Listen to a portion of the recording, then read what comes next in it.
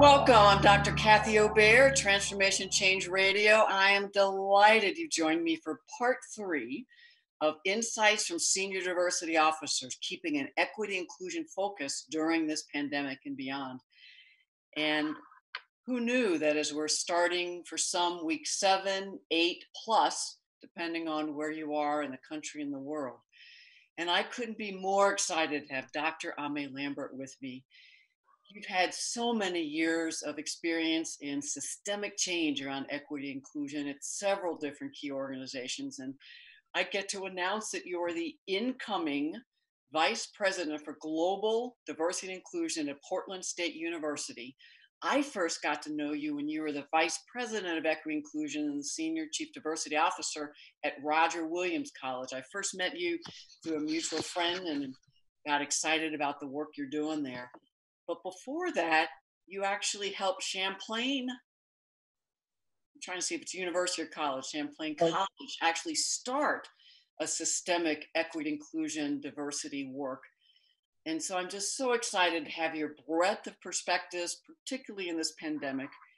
Um, and especially since you also work with newer senior diversity officers through the National Association of Diversity Officers in Higher Ed, NADOHE. So couldn't be more excited to have you. Thank you so much for joining me on this radio show. Thank you, Kathy. I'm delighted to be here, and I have been a fan of your work for a really long time. So I'm so honored uh, uh, to spend time with you, and I honor all the work you've done. And I mirror the honor going back. Couldn't you just tell us a bit about yourself? And I'm particularly curious about your passion for equity inclusion work and kind of how you found that and how you found your way into what for many is very challenging, difficult work, senior diversity officer work at the institutional executive level. So just help us understand who you are a bit. Absolutely. So I think um, I'm Nigerian. I'm a bicultural immigrant. So I identify very strongly as a Black immigrant woman, and both kind of my American culture and my Nigerian culture and the bridging between that are really important to me. So when I came, I came to the US for college. And um, for the first, I would say, first four or five years, my focus really was on um, proving to folks that Africa wasn't one country, that we all were not hungry, right? That there was complexity uh, uh, um, on the African continent, and did lots of things as an undergrad and graduate student to, to support that. When I was uh, uh, uh getting my master's at Michigan State University, I my graduate assistantship was at the Institute for Children, Youth, and Families. And my awesome boss, I'm going to give her a shout out, Nancy Walker, um, said, you know, you're going to lead a process to write a briefing report for the state on zero tolerance policies. I did not know what zero tolerance policies were because I did not go to high school in the US. And she's like, yeah, do your research, we'll support you. She was really great.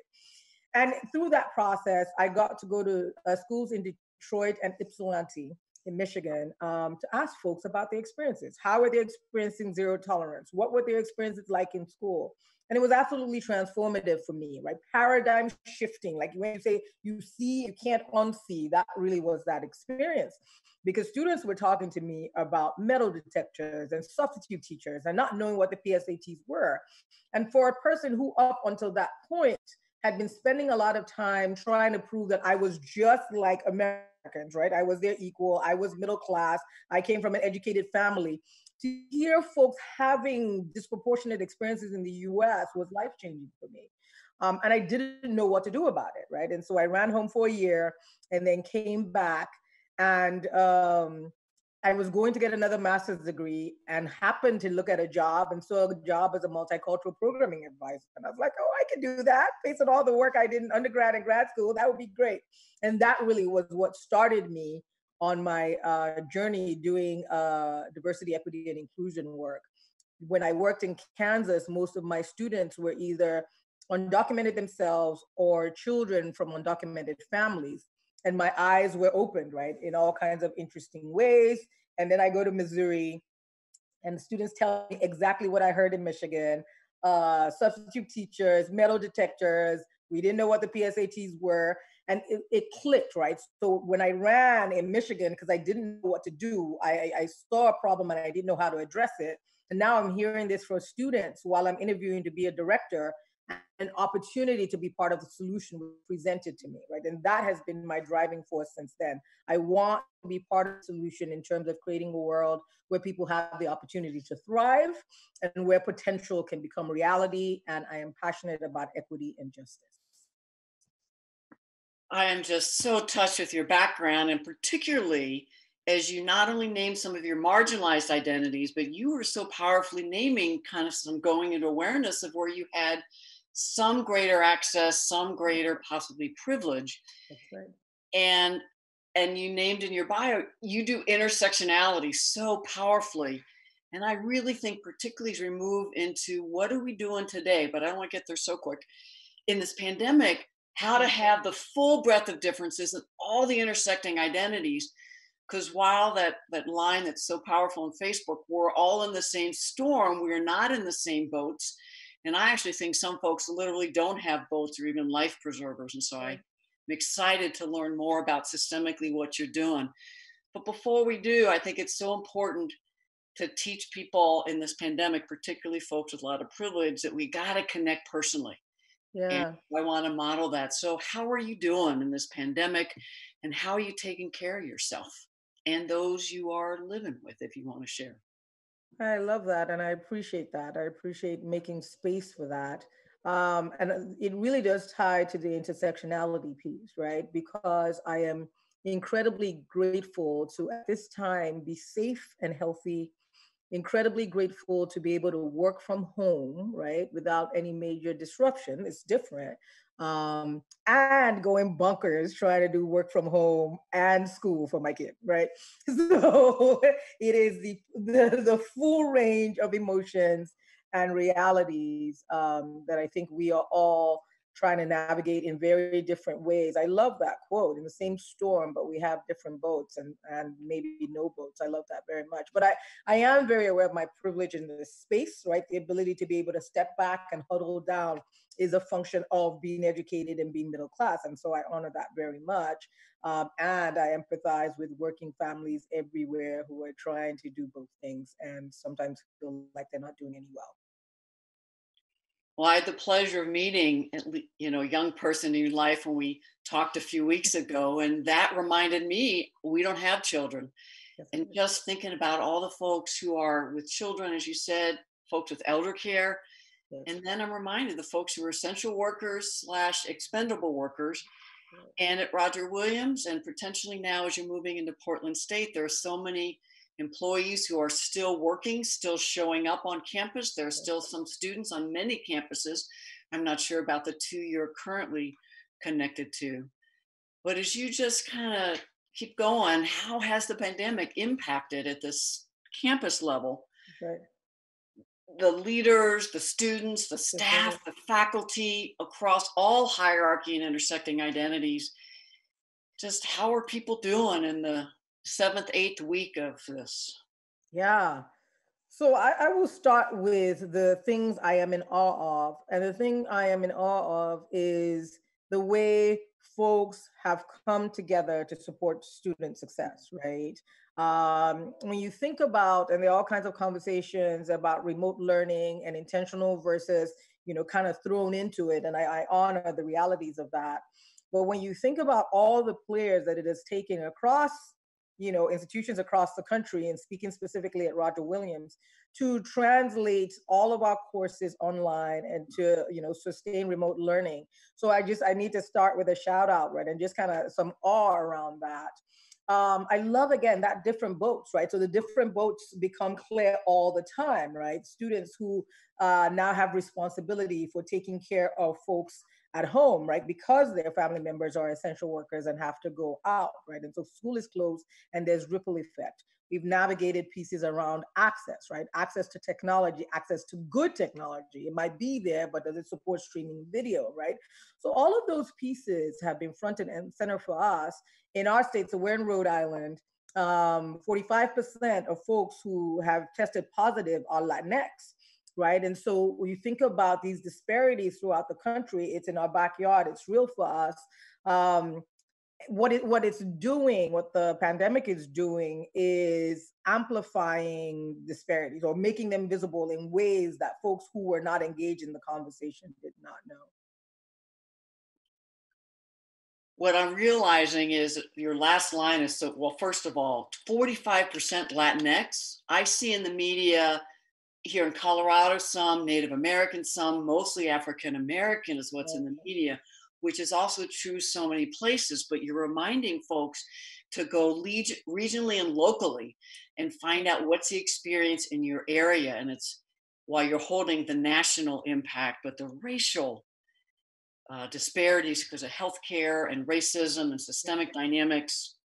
We could we could talk for hours. That's right. Um, That's right you you landed on people as I do every time I talk to someone have to be reminded of all my privileges and oh it's another gap. I do these things called community connections twice a week, Tuesdays, Fridays.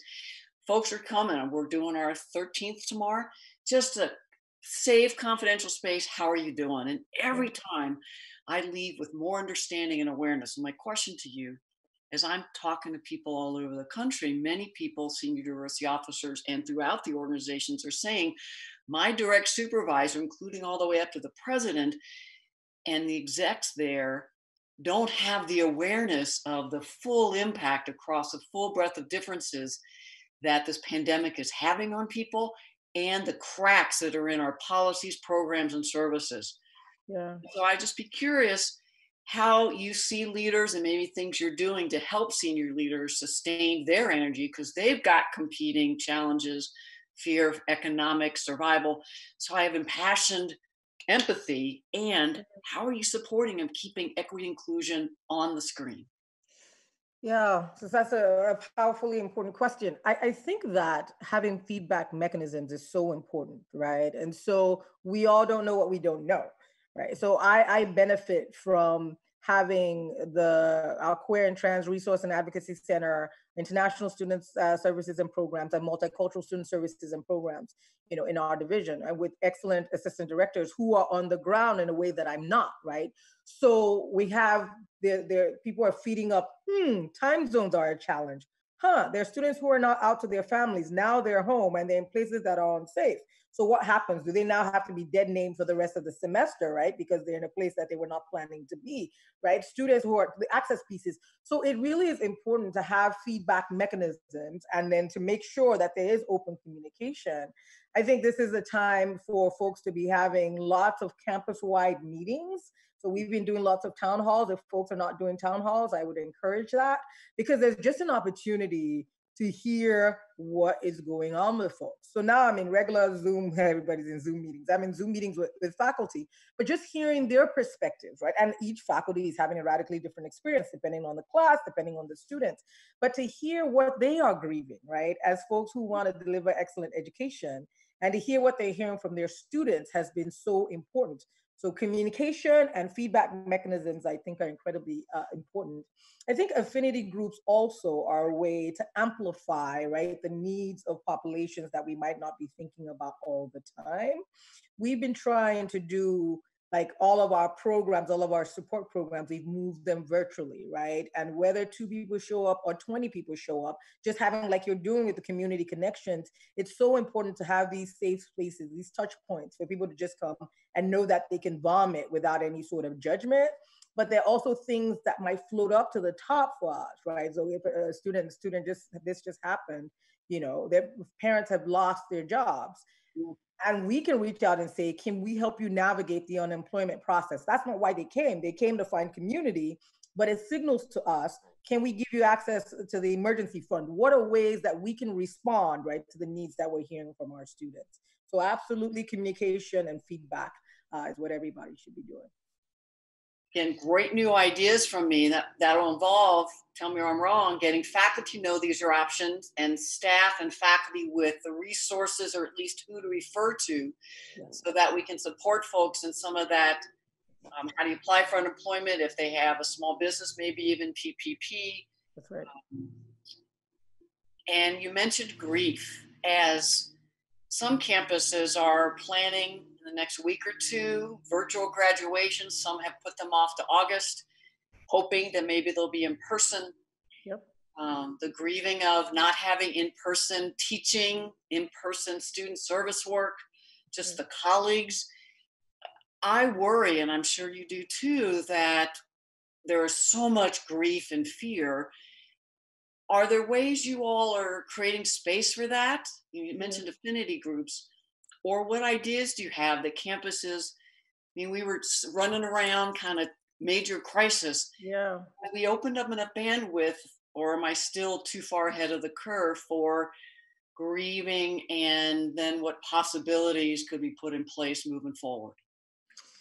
Yeah, that's an excellent question. Um, so that's the bandwidth piece is, is, is legit because institutions all over the country, including ours, are working on scenarios, right? And so what we're really trying to do is not be binary, not are we going to open or are we not going to open, right? But recognizing that there are so many factors outside our control, right? Trying to, to prepare for a full slate of, of, of options. So while there's lots of attention focus there, this is where so going back to the affinity groups right? So we have affinity groups and then i want to give a shout out to our leadership academy right? And so these are folks who are emerging leaders and proven leaders on campus who in some ways because they're next level down can kind of take on the mantle of leadership around kind of care for the community while executive leaders are working on the scenarios with input from the campus right? And so i think that these kinds of spaces student senate our student senate is back on and having conversation become really important. We sent out because you know you know with emotions especially negative emotions naming it is the beginning of it. And like you did at the beginning uh, making space right for that for emotions and for check-ins and self-care is really important.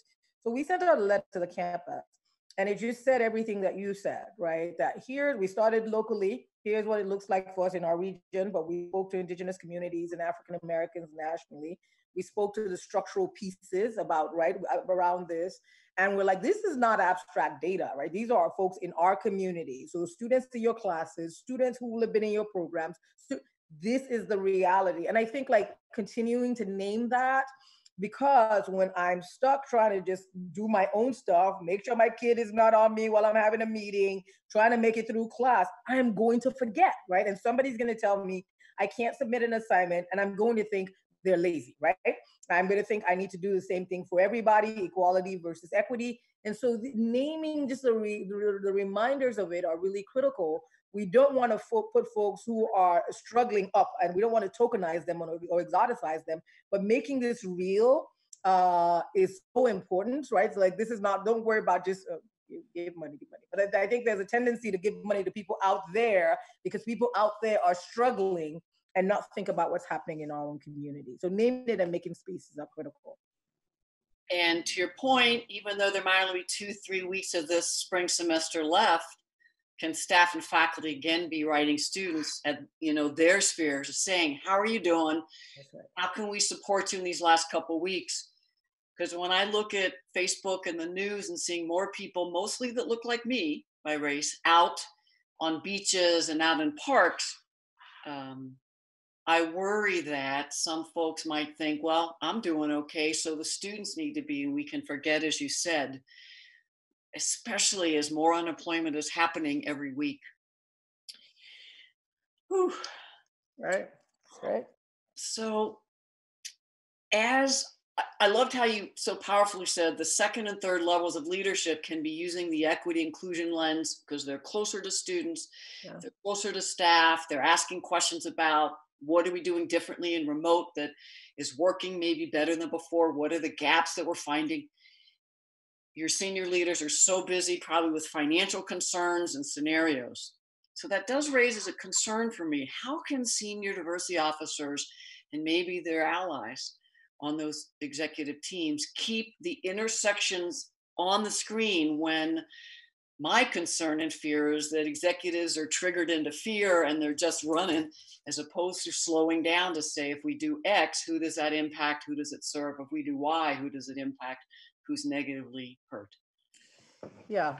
And and and so there are a couple of things right? So i think for senior leaders mission and values don't disappear because there's a crisis right? And so um, it will be at every meeting here are the realities, here are the things we're looking at, and then what does this mean for equity, right? Like having a piece of that as part of any scenario, like whatever scenario you come up with, you have to figure out how the different pieces are going to pivot to support that. What does it mean for equity? So there needs to be an equity piece to every scenario so that there's, there's opportunities to think about this. But again, let me go back to the feedback pieces with a very specific example, right? So we're no different from uh, um, many other institutions being touched by salary reductions and furloughs.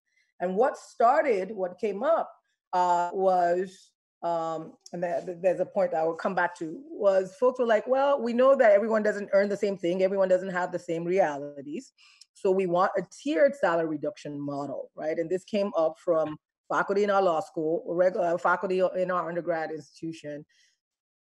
The leadership listened. So that's the other piece, right? So you have feedback mechanisms, but you have to listen to that because there is a cost. Equity is not cost free. That's why people don't do it, right? It's easier not to do it and it's cheaper not to do it, right? That's why folks tend not to do it. And then, you know, preserving the status quo is great for some. Um, so the fact that people spoke up and said, look, we are going to keep our mission and values. We recognize the reality, but we recognize that the impact is not the same. And so we will step up and propose this. And then the leadership responded. And it took more work and it was more complex to do it that way, but that's what we did. So I, I, I encourage folks who are uh, champions, which is another thing. Everything you do before a crisis impacts what happens during the crisis. We already have a community that is committed to equity and inclusion, right? And so that's the community that we're looking to to continue to remind us of our values, to continue to put stuff on the table. This was a ground up thing uh, that there was space for people to speak up about and that the leadership responded to. I think that becomes really critical because, as you said, best of intentions, but we're running a mile a minute I'm the equity officer. I'm getting triggered, right? And so, like, in some ways, sitting there looking at stuff, I need somebody to remind me of what my core values are, remind me of what my responsibility is. And then I'm activated again, right? And I can speak with my colleagues, and they're also getting activated by their their team members. I love it. And if the top leadership isn't leading, equity officer can and sometimes there's some backlash. If you were the only one and we come back from break i want to talk about what's some of the resistance. So dr Ame Lambert, would you mind just letting folks know who you know folks that may want to contact you if you're willing how they can find you either to come talk to them on their campuses do some virtual trainings they want to reach out as a mentor how can they find you Yes, uh, I think LinkedIn will be the easiest ways uh, since I'm moving from one job to the other. So just R Lambert. Um, anybody else is an imposter, but R Lambert on LinkedIn will be the quickest way to reach me. Thank you so much. And again, I'm excited you joined me. I'm Dr. Kathy Obear. If you want to find some of my resources on the radio show link, or you can always just go to my website, drkathyobear.com backslash events. You'll see all kinds of things community connections free come together let's just talk about how we're doing my navigating difficult situations course. I've made free for the pandemic and the transition through august most likely. It's like six hours of videos of difficult situation tools and skills and 100 page program book. My course on designing facilitating workshops is a wonderful community of folks I think using this time in the pandemic as you get a little more bandwidth to really invest in your own development, that might be interesting. And finally, the free access to In It for the Long Haul, self care. I'm looking, um, the webinar and book is there as well as worksheets. Seventh, eighth week, folks are going to need more self care and community care. So I'm Dr. Kathy Obear with Dr. Ame Lambert. Come on back after the break. We'll talk more about how do you keep equity inclusion focus during this pandemic and beyond. We'll see you in a few minutes.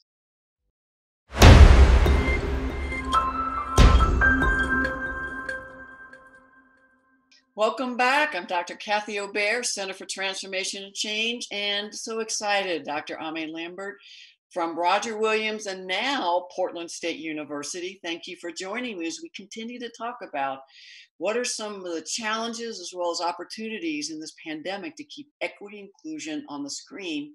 Advice from senior diversity officers. So, Ame, this was your question over the break. Thank you so much. As we're winding down, some folks on campuses might be like, oh, maybe we get a break. And yet, so many of our students that we're serving, some are still on campuses, and so many are still in need as we move into the summer. What are some of the strategies you know campuses are doing to be that bridge to help folks that maybe some will say, well, you know, we're going back to work now. We've opened up the states. So, what do you know? Absolutely. Uh, remember that the need continues. Uh, remember that folks are dealing with housing insecurity. That's not going anywhere. Um, remember food insecurity. Lots of institutions across the country have kept their food pantries open. I honor that. Um, I've heard folks uh, uh putting students in hotels uh, if they needed to be off campus. I've heard of folks keeping people on campus. We've kept some folks campus for a variety of reasons if home was unsafe if they couldn't get to their home countries um, so i just i really do want to honor that globally and encourage folks to keep thinking about that um, students you know for a lot of students college is more than about getting an education it becomes an anchor and so that anchor doesn't go away in the summer um, because they're not in class. So I just encourage people to remember that and keep connecting folks with resources. The metaphor of the school that can be the anchor when everything else in the storm. Um, your idea earlier about offering to students support around can we help you think about applying for um, unemployment or helping your family members being that it was just the first of the month and April, so many in this country had trouble, didn't have money for rent or mortgage in April, much less May. And pandemic checks, $1,200, don't stretch, and many still have not received them. Just wonder how many campuses are offering to support extended family because when yeah. you see housing insecurity there might be more people living in a space than were for years and that space may be not being able to be there in the future that's right so all of these supports and then you know uh, Maslow's hierarchy. We, you know, we've got to take care of, of, of, shelter, of food. But like you opened up, Kathy, I think the emotional pieces. Um, so these hangouts, so like you know, all of these virtual things we're doing, technically they end at the end of the of the school year, right? But continuing that through the summer. So if a person just needs a space where I can be fully myself for all kinds of reasons, that they have that space. And again, going back to the anchor piece, it continues to be a place once a week. I know that on Thursdays at three o'clock, I'm going, right? And everybody knows who I am. Everybody's affirming me and then I go back and I come back and I breathe and I go back. And so recognizing that all of those pieces have to continue, even though usually there wouldn't be like this kind of uh, uh, programming in the summer is really important. And so for students and staff and faculty, new ideas you're sharing, what if we encourage people to plan through at least early August until right. it's not needed? That's right. Weekly, if not bi-weekly, time to come just as you said how are you doing what are your needs now what does your family need and just a support because i do fear that fatigue is setting in yes both mm-hmm. fatigue and if leaders at several layers are spinning in are we even going to be financially solvent what do we do if we can't open then the distance from what's really going on in students lives i have fears about that so that is one way they might be able to stay. They may not have to organize it, but they can attend. That's right. And with the fatigue, I do fear that that there has been resistance in that senior diversity officer saying who will this impact by different identity groups? and may have been brushed to the side before, but particularly now. There and people saying things like, you know, we have hiring freezes, we have to hire the best candidate. We can't be doing all this outreach.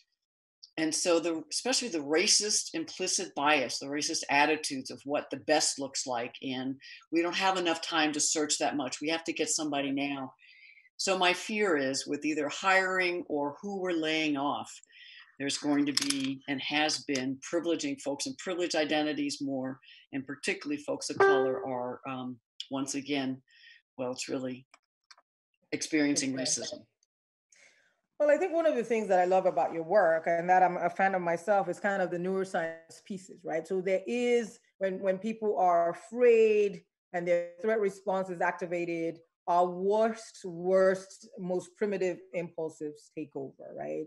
And, and so the piece is about stopping and mindfulness, right? And just looking for ways to connect to our higher beings, our higher selves, our best selves becomes really important, right? But as you know, when people are triggered, finding ways to get to the heart of it. What are people afraid of, right? You named the grieving process we talked about earlier.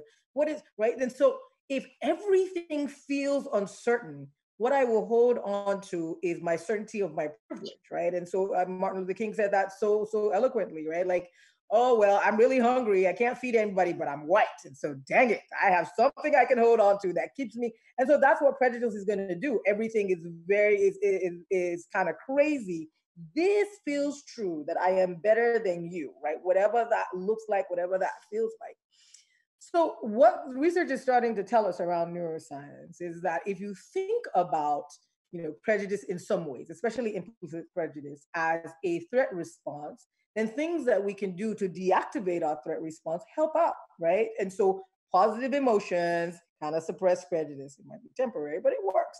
Um, relaxing, not being as stressed, right? And so the things that we do for holistic health become even more important when we're talking about prejudice reduction in a stressful situation, right? And so, and then primers also become very important. How are you exposing folks to positive images of minoritized people, right? And so um, I was going to come up with come up with all kinds of interesting ways to do that. But I think you know, again, having affinity groups and providing spaces for the affinity groups uh, um, to be their wonderful, bright, uh, uh, uh, critical thinking selves reminds us that even though people are not at the table, they are valuable contributors. Bringing student voices in. We're talking about you know what's happening with commencement, who's doing virtual, who's delaying, or whatever. So lots of touch points with students. Yesterday, today is Monday, the day's run over. Yesterday, uh, we had a virtual student award ceremony for graduating seniors. It was amazing, right? It was amazing to be reminded that our students, wonder how much we miss our students because it's great to, to kind of see their pictures, but reminded of the great work that our students are doing, right? And I hope for them it was a touch point and a reminder that we value them and that have a lot to offer a world that feels very uncertain right now. So, versions of kind of rituals and traditions, whatever way we can bring that back, we need to figure out ways to bring that back. So, we we are hopeful that in August we will be able to have an in-person commencement. But these other pieces, these other touch points uh, have been so important as a student because it's a, it's a rite of passage. We want to honor that, right? That this is a journey they've been looking forward to it. We need to be able to honor, do some things in May. And so this was a great way to do it. Oh, and those great rituals also help with the grief and transition. That's right. And new idea that you might be doing it. I could imagine that, especially in some of the affinity groups, three or four folks at the time, or one at saying, here's how what my family is experiencing. Here's what's been really helpful from the college, mm-hmm. and here are some things that I think would be useful. And that could happen. Some faculty could organize those voices. But again, it's a different way to get feedbacks loops, as you've been talking about, up. But that visual may actually open the hearts of and slow down folks that are spinning and triggered to go, this is why we're doing it. And you know what? that idea we're considering actually has a negative impact across people that are undocumented and maybe some of the folks that are refugee and mm-hmm. actually folk of color in general ooh parents with kids so ooh people that's with right. disabilities and just thinking it slowing them down. That's right i love it. Comment about uh, new is it neuro n-e-u-r science? I gotta look up more. Um, the idea of positive imagery of folks who have been um, maligned with prejudice and bias to keep a few of us up here thinking we're smarter, better, we're superior. I just, um, someone sent me Dr. Heather McGhee's TED Talk. And then I also realized this week Chris Hayes on his podcast interviewed Dr. Heather McGhee. So I was gardening listening to Dr. Heather McGhee. I hope I said it enough times. So folks, go find Dr. Go Heather, find Heather McGhee. oh my gosh. And I know there are thousands upon thousands of folks that are just in their brilliance about dismantling racism, dismantling classism, and then the intersection with Dr. Heather McGhee talks about. So I just wanted to remind folks to use this time. Free professional development could be sending out a podcast and saying, would love the people in our area to look at this. And then let's come together now and just talk about what you're learning and how does this impact. And ask people to offer because they may have all kinds of dynamics of awareness that they would like their teams or their whole division to learn podcasts today or free virtual trainings or yeah. webinar Wednesday about creating inclusion partner programs. So all kinds of free resources now virtually. And I, I just want to honor that that you, the investment you are making in all of us by making these materials free. Uh, I mean, it's amazing because you know, week six, week seven, people are still finding their routine, but in the new normal or the next normal, which is the only thing I can guarantee, right? That it's not.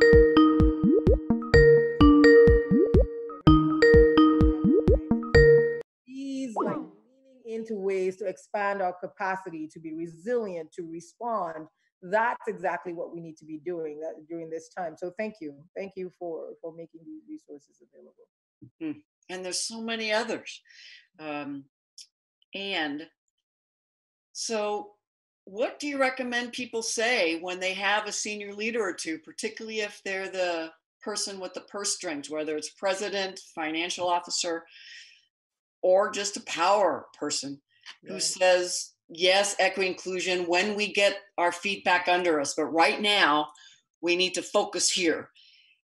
What do you recommend? And how do you recommend the benefits of having an equity focus now because it's not just costs a lot of money, hard to do, it actually has our future. That's right. So I would recommend saying that there are all kinds of survival, right? And so when we say that this work is about our survival, it is. Um, and so again, going back to being in a trigger space, being in a fear space, you, your, your focus kind of narrows, all you can see is right in front of you.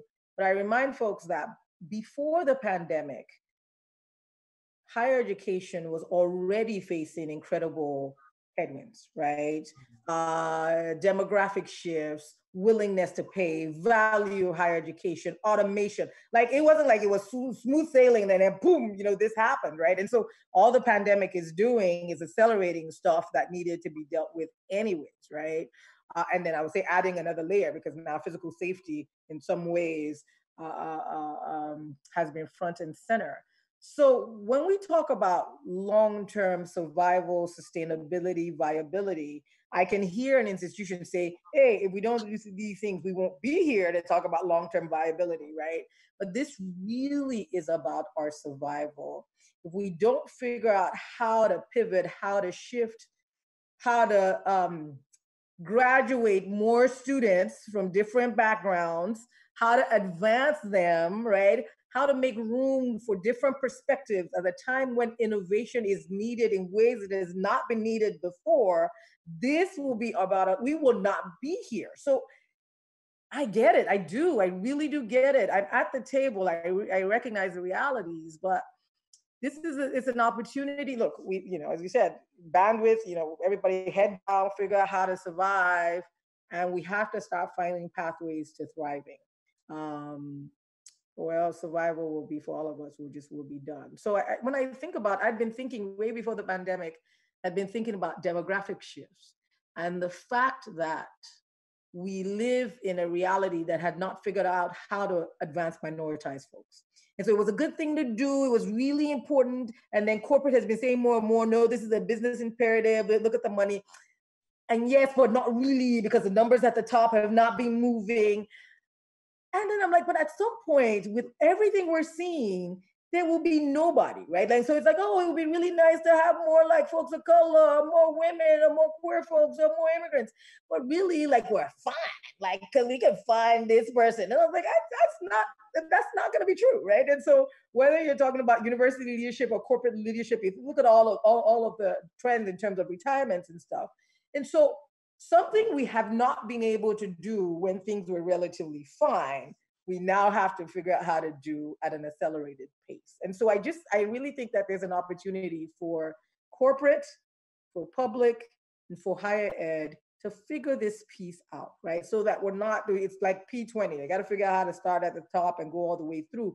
What are the conversations that people need to start having early keep talking about these things and it's so complex and layered but i keep talking about look i need to know my job right so there's this technical piece i need to know how to do my job and if you're minoritized in any way you better really really know how to do your job because you're going to face extra extra scrutiny right so you need to be technically excellent and then there's the social emotional piece right if you're underrepresented if you're minoritized you are going to have more reasons to be triggered let's do Kathy's course. It's so important, right? So there's a social emotional capacity that you need to have navigating as an underrepresented or minoritized person. And then there's the navigational piece. You're you're in a foreign world. There are rules that are unwritten that you don't know, right? We talk about that with college students. It's very true in organizations as well, right? And so you need dominant mentors or you need non-dominant people who have been there to like interpret things for you. And somehow the other, and then this is kind of this is just with minoritized communities and then institutions, the work that you do in terms of dismantling isms if we don't figure out how to accelerate all of this at the same time, uh, we're talking about leading, needing leadership skills in a world that's going to be radically different because jobs are going to be automated. People need to be agile. They need a growth mindset. Huh, okay. we better get to work. I need to breathe. well, you're so powerfully naming the challenge of what an opportunity to shift from just a nice thing to do demographics yeah.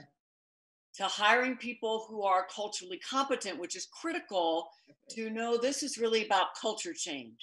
And mm-hmm. to really seeing, in my opinion, that most leaders of color throughout the organization have skills and competencies and ways of engaging that can help our traditional dominant culture shift. So it's not top down leadership, it's not just a few deciding, but to really have many voices and valuing and amplifying creative innovation. And that's going to take showing leaders examples. So tell me what you like about this idea, if at all. Could you imagine a senior diversity officers said to everybody in their division and everyone in their whole university and college, give me examples of how you are being innovated in this critical crisis time that you never believed you could, but you're finding we're doing this. Or we realized if we do it a little differently, we serve even more folks. Right. And then showing that to the leaders so they maybe see how actually empowering and amplifying more voices might get the culture change that they say they want the strategic plan. Right that would be amazing. I think you know because uh, you know I, uh, the uh, disability idea of universal design, right? It's such a powerful metaphor, right? That if you do this to create access, it actually works, right, for everybody, include right. And so, yes, I think that I do think that there's a room for uh, um, kind of a national diversity leader conversation about this, right? In terms of what you're doing is just so great. How do you keep the equity agenda at the table?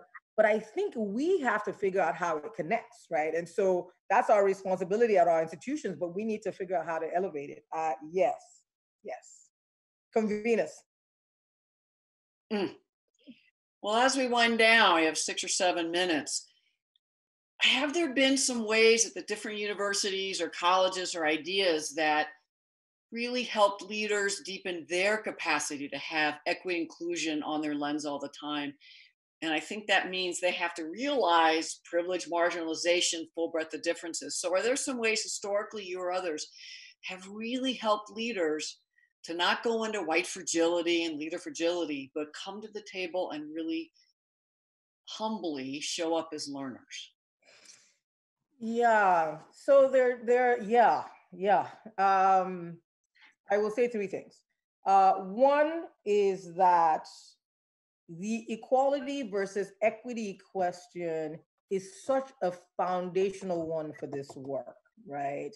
Because, and I'm speaking as a non American, um, equality is such a strong American value, right? And so you take individualism and equality and you put it together, and it's like, uh, um, so if people do not understand that folks are not trying to be lazy, uh, folks are not less motivated, they're actually things that are preventing their greatness from materializing it. They they, they, they, they, they from materializing then they can't engage. So spending a lot of time on that is is really important in this work. Um and then I will say that, again, as speaking as an immigrant, just understanding the construct of whiteness and how European ethnics became white, I have found to be such. So, for me as an immigrant, to be talking to European ethnics about the process of them becoming white and how the system became porous for them, uh, but not for others. But a lot of folks don't understand the process, right? They just folks will say I'm ethnically Italian or I'm ethnically no, but people mostly don't understand the piece, and so they need to understand. Hey, everybody came, everybody was discriminated. Some did not come by choice, and here's what happened, right? And so that I, I find in my work to be really important to be able to have a conversation about kind of the marginalization of people of color. Because I think fundamentally people are like, where am I in the story? What about me? Right. And so if you don't make that bridge from this is me, and I did have challenges, my people did struggle here, and, and they might still be struggling, but here's what happened, right? Here's what happened post World War II. I think that becomes really critical. And then I think the last piece, and this goes back to some of the neuroscience pieces and the cost of equity work, is you know this about you're speaking about white fragility that there are people who cannot hear us. They just can't, right? For whatever they shut down, they get afraid, they're afraid they'll get guilty, whatever. And so you need bridges. You need white folks as bridges, right? Speaking to community. And Kathy, I honor that. That's what you do so much. And then there are people of color who also need to be bridges, right? You understand fragility. Um, and in spite of your triggers, you figure out how to navigate through, right? And so we need dominant and non-dominant bridges from different communities uh, to be able to help the work move forward. And I think that equity officers, allies, um, whether we know it or not, that's one of the things that we have to do uh, in terms of that bridging work. But because it's not cost free, it needs to be recognized and it needs to be honored. I think the last thing I will say is if you think about some of these pieces, the way the world has changed very quickly, there are some pieces that are not going anywhere, right? The way remote work has accelerated is not going back, right? hopefully going back to physical school is going back because I can't sustain this. So that, that, that, I hope is coming back. But okay. Uh, that's right. But think about professional development budgets and people who have not been able to engage, that are not able to engage virtually, right? And so, so there are so many things that are different um, you know, as much as I joke about, you know, not being able to do work in school, people are spending more time with their families. People are getting reconnected to what matters, right? If you're out of an alpha space, you're better able to like just kind of connect with your deepest deepest values. And so I think all of these things, even though they might not seem directly equally related, they all are. And so how we hold on to the pieces from this that we should keep is something that equity officers should be thinking about. And, and it's part of that's part of our self-care, right? Because future thinking and hope also helps us to be more resilient in the present. So I hope that my colleagues and I will continue to keep equity uh, um, at the center and continue to think about it in these really complex ways, because these are complex times. So many great points, the both and. What's tough? What do you still need? And what are we learning? What's been positive? How are you personally gaining? Anything you're noticing? Where do you have hope and concern? That itself challenges the dominant white supremacist culture. Wow.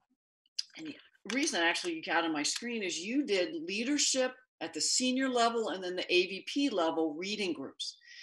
And the take, why well, so many takeaways, but one for me as a white change agent is to spend time with whites tell me the st- story what you know of the family over generations and the different ways mm-hmm. you experience different parts of your family experience different forms of oppression kind of have room for intersectionality and when did different parts of your family start to get different parts of privilege mm. we whites so fear being called racist and thinking we're the mm. problem and that it's personally attacking as opposed to systems thank you for that brilliant strategy and that could be people people could do now with leadership reading groups at different levels so it has some group development and some Mm, and anonymity and confidentiality. So we got to wrap this puppy. Do you have a final thought, Hope? And please again tell us how people can find you. Yeah. So my final thought is that this work is critical. This work is central. I've heard from some of my colleagues that they have felt marginalized during the process. They haven't been at the table. Don't worry. Keep inserting yourself keep doing your thinking and strategizing because an opportunity is going to come up where you know all of that work pre-work that you've done will be important. Your work is so important. And again kathy i honor your work i honor your leadership and i just say be well be safe um, let's let's do the both and let's take care of ourselves now but let's be thinking about the future. Dr ame lambert on linkedin i honor you so much. Thank you. I'm taking away so much and I'm Dr. Kathy Obear, and you can find me every first Monday at the same time, 10 a.m. Pacific, whatever time, 1 p.m. Eastern. And I've got a fourth part. So May 21st, going to have two more senior diversity officers. Kim Baker Flowers, who's at CSU East Bay, formerly Portland Community College, and uh, Dr. Beth Douthirt Cohen, currently Executive Director, Diversity, Equity, Inclusion, Frederick Community College, formerly Associate Leader in Equity Inclusion, Maryland College Park. So they've been in community colleges and significant four year. I can't wait to have part four. Ame, I'm so grateful for you, so grateful for all the key leaders that are doing so much keep equity inclusion on our screens as we're in this pandemic, supporting the thriving of our students, staff, and faculty. I wish you the best and I wish you all the best. I look forward to seeing you on the radio show next time. Take care.